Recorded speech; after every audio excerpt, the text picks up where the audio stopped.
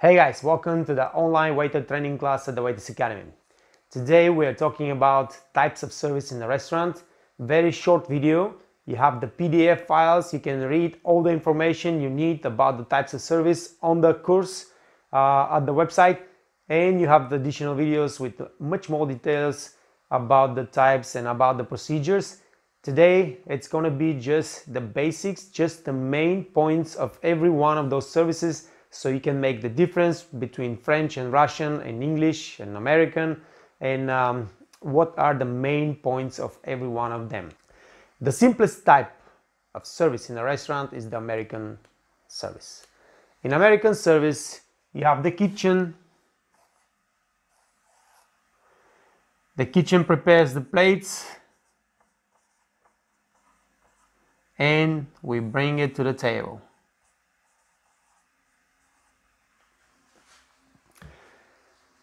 That's why 99% of the restaurants in the world are using the American service.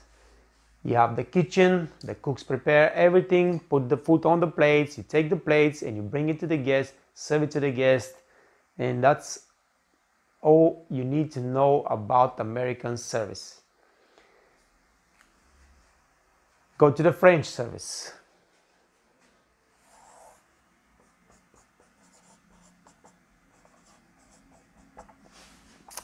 The French service is the most elaborate, the most expensive, the most time consuming service in the restaurant.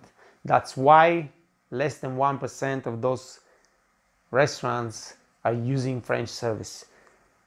The problem is that you have to really train those waiters to perform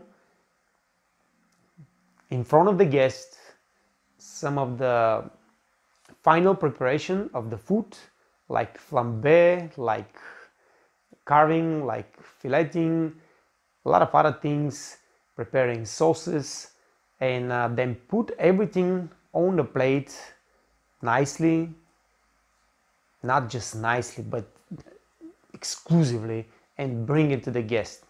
So to train a waiter to be able to do all those things uh, costs money and costs time and then imagine if this waiter quits in three months you're screwed.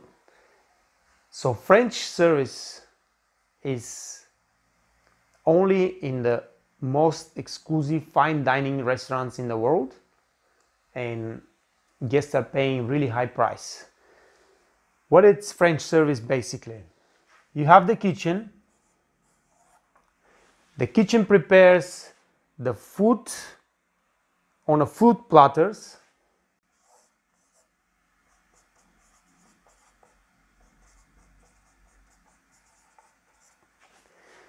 The waiters take the food platters to the gueridon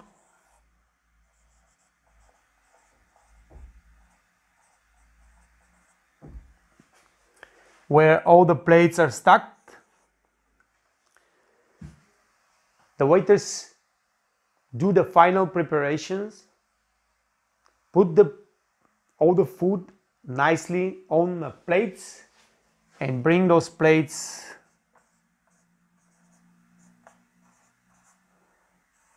to the guest table.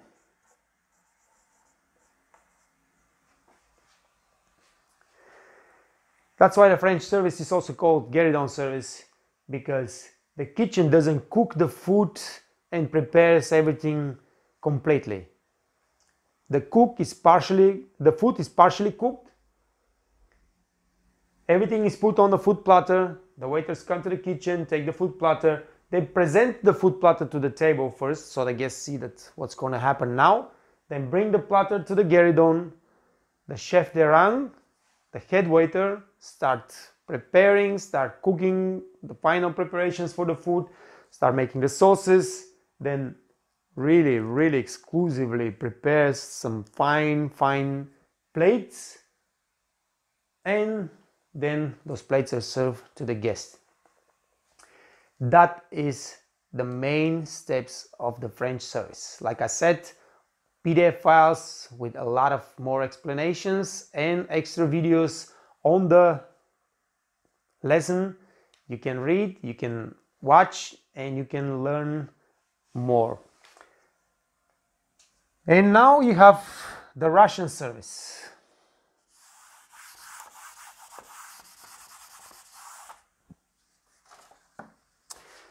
The Russian service you find more in banquets, more in cruise lines, you know, catering events and stuff like that. There's a lot of common between the Russian and the French service, but there are a lot of difference too. In Russian service, for example, you don't have gueridons. The food is also prepared on the food platter in the kitchen. And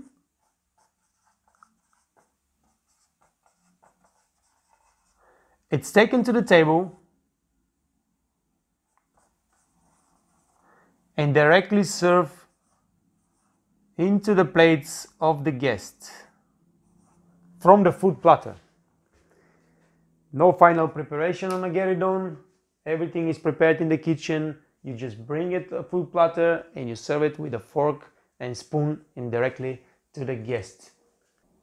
Basically, guys, this is all you need to know for a job interview when they ask you what is a foods, uh, what is a Russian service, what is a French service, what is an American service, um, and of course, for your own knowledge and um, self-esteem. Read the PDF files, everything is explained much much more in details with pictures and everything that should be um, the extra video is with the procedures what they do how they do it when they do it uh, the servers so make sure that you prepare yourself. Uh, most probably you will be working in American service restaurants most of your life. Those two, this is the fastest, the easiest service. That's why we use that when we have some catering events, when we have weddings, when we have banquets, uh, um, business parties on the cruise line also because everybody is eating the same food and we know exactly what to prepare the table for. And then the kitchen just put the platter uh, food on the platter. We just bring it there you can serve at the same time a whole table of 10 people with the food platter just go around. And uh, that's the really quickest and easiest uh, service that uh, a restaurant can apply. But it's only when everybody is eating the same thing. While in French service, you still have a la carte. You bring the card to the guest, they choose what they want to eat, then you take the order to the kitchen, the kitchen makes the preparation, put it on the platter, bring it to the gueridon, you make the final preparation, and then you serve it to the guest.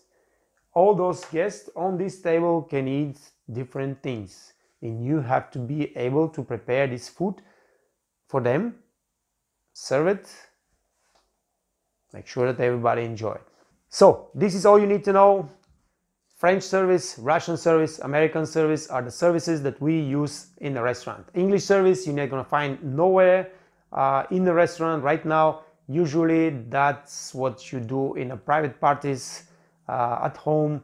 that's why we're not talking about right now. I have talked about English service on the extra videos and you have also some explanation on the PDF files, but pretty much this is all we need to know because this is the services that you will be working uh, in a restaurant once you hit the floor. Thank you guys. Um, stay out of trouble, make good money, work hard, learn fast, and I'll see you soon. Ciao.